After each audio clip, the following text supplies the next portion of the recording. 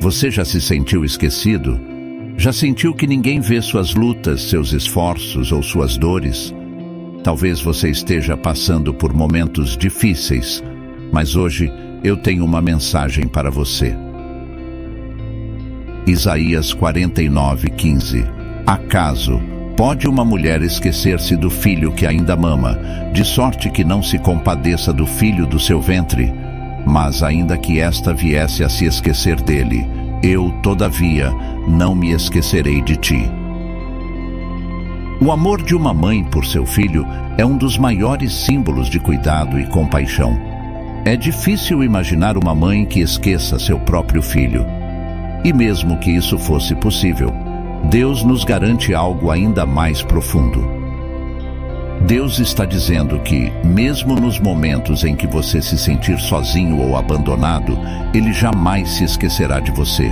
Mesmo que as pessoas ao seu redor falhem, o amor dele é constante, é inabalável. Em meio aos desafios, é fácil sentir-se esquecido ou perdido.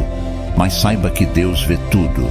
Ele conhece seu coração, seus medos, suas lutas, e Ele está ao seu lado mesmo quando tudo parece incerto. Talvez hoje você precise de um lembrete. Deus não esqueceu de você. Ele te sustenta com o mesmo amor que sustenta o universo. Ele tem um plano para a sua vida e, mesmo nas situações mais difíceis, Ele está moldando o seu caminho.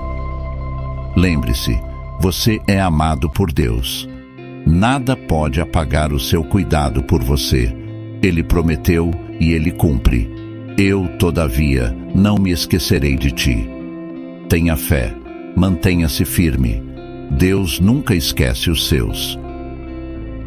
Se essa mensagem tocou seu coração, compartilhe com alguém que precisa de um lembrete do amor de Deus.